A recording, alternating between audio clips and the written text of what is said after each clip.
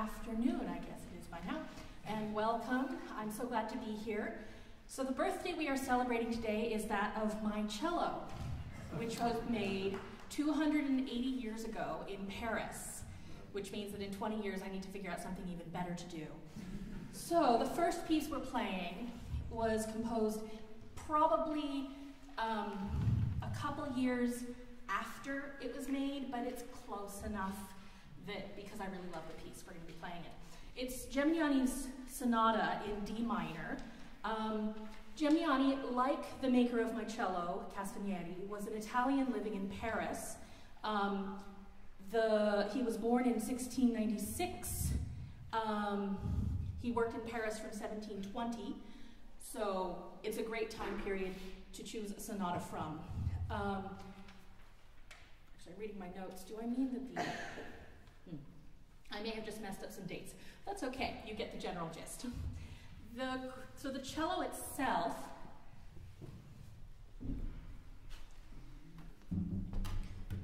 is by um, Andrea Castagneri, Italian living in Paris, made in 1743. And at the time when, that it was made, it probably only had four strings, because that was pretty much the standard by then, although there were many exceptions, which I'll get to later. It was converted to five strings sometime in the 1990s, um, but it sounds fantastic with five strings, and I'll be using that fifth string on our final Boccherini piece. The, one of the things I love most about it is this scroll, which has some very delicate floral carving. And a future project that I want to undertake is to find out who carved this. We know that a lot of women in Paris made side money, essentially a side hustle, carving scrolls and selling them to the instrument makers.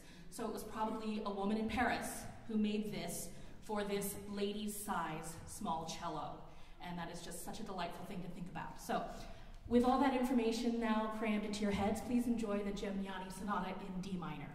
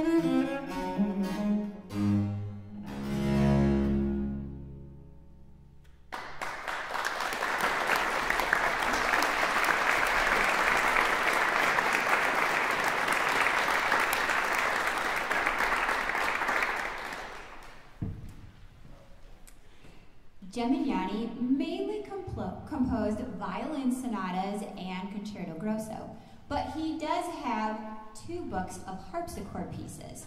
However, he did not compose original works for the harpsichord, but instead took some of his favorite movements from the violin sonata and uh, transcribed them for harpsichord. Now, he just took his favorites, so they don't have um, a great pattern to them in the harpsichord books. It's kind of a little hodgepodge of whatever you would like. Uh, he sort of grouped them in keys together, but he just kind of did what he wanted. So, these next two pieces will be played together as a set, and they are from Geminiani's Book One of Harpsichord Pieces, which was published in 1743, the same year as the cello was made. And an interesting fact is when he published these as violin sonatas, they had Italian names for the movement. And when they changed into harpsichord pieces, they had French names for each movement.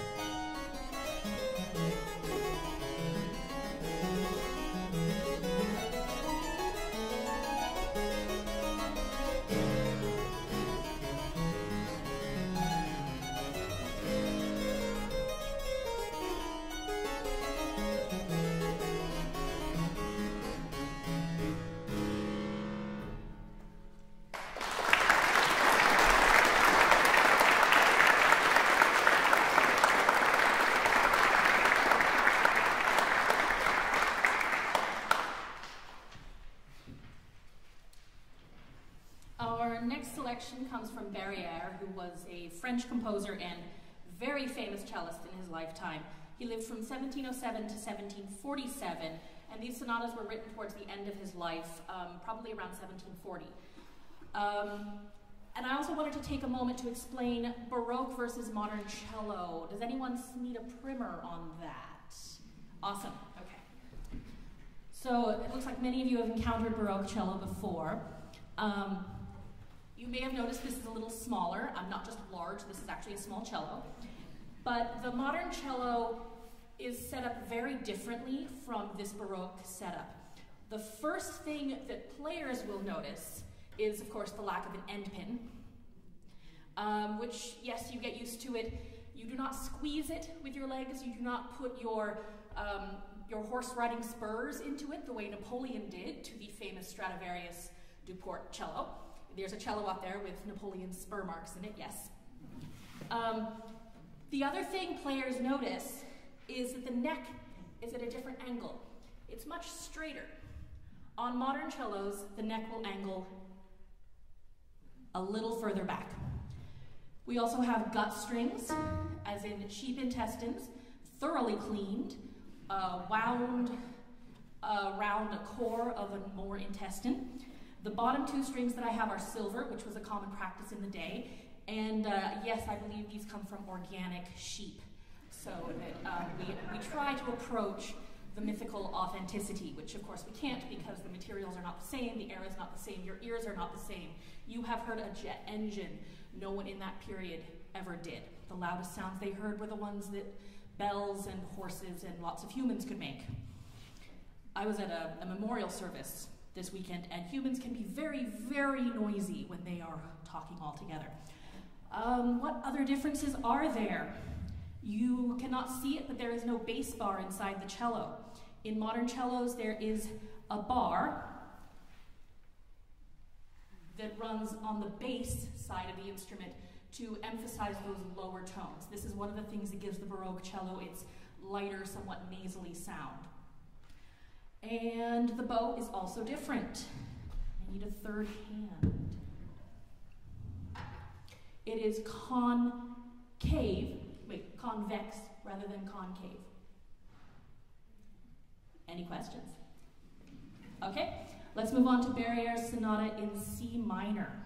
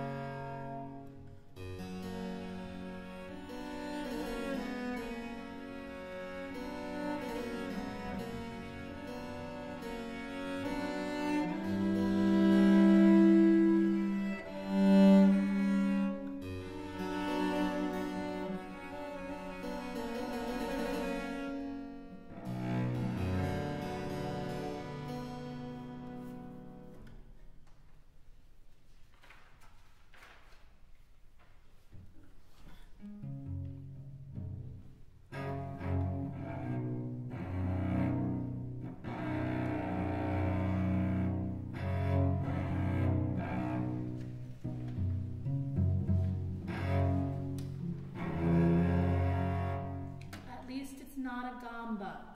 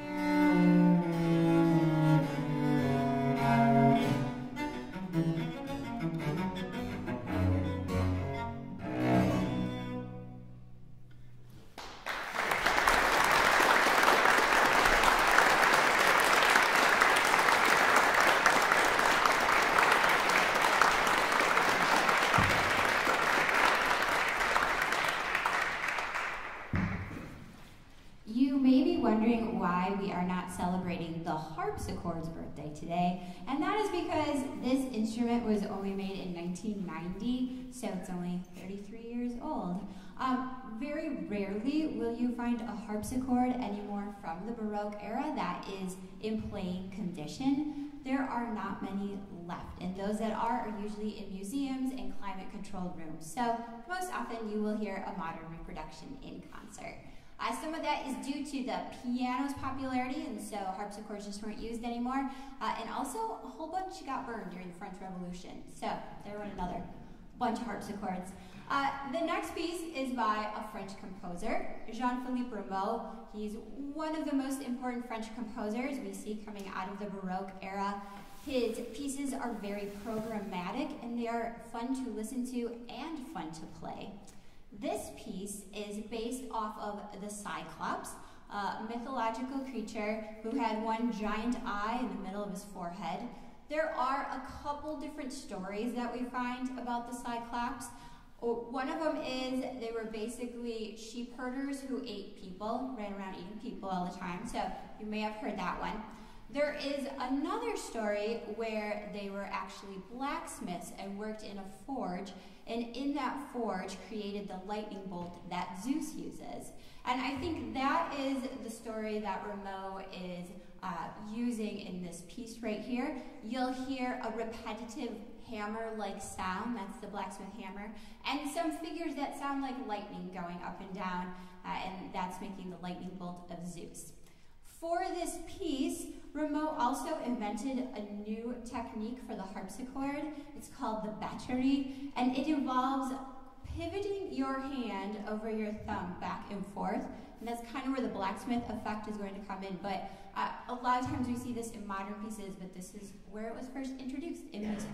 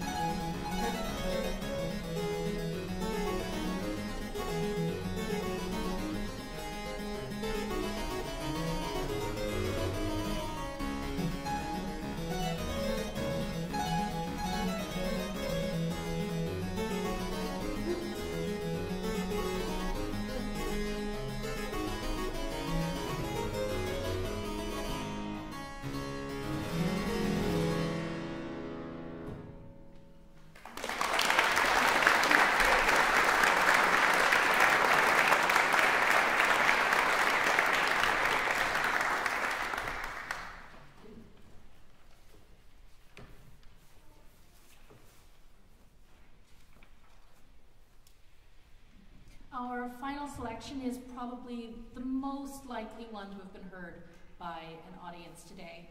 Um, Boccherini was born in 1743, the same year as this cello, and his sonata in A minor comes from 1771. Um, this piece, and Boccherini in general, makes me think about the changing technology of strings quite a bit.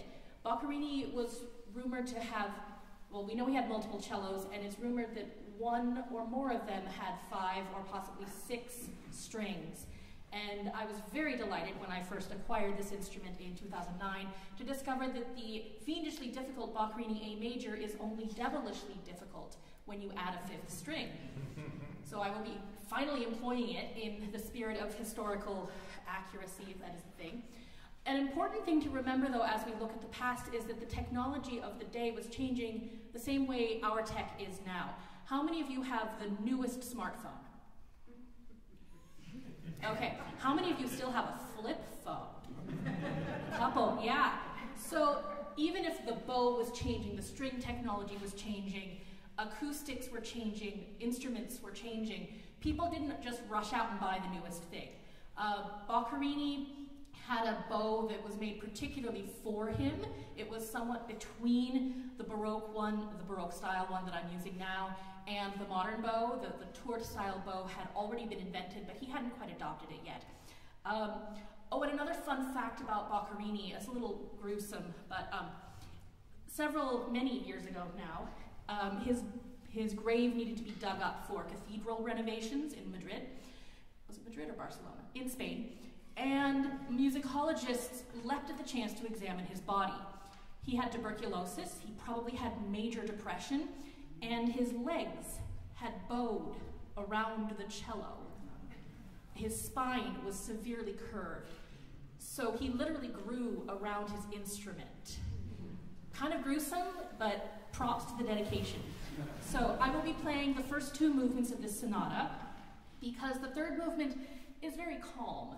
In the time period, they liked to close concerts with a bit of a downer so that people would not leave all hot and bothered and excited. But we like to leave hot and bothered and excited, so I will just be playing the first two movements of the A major. Thank you.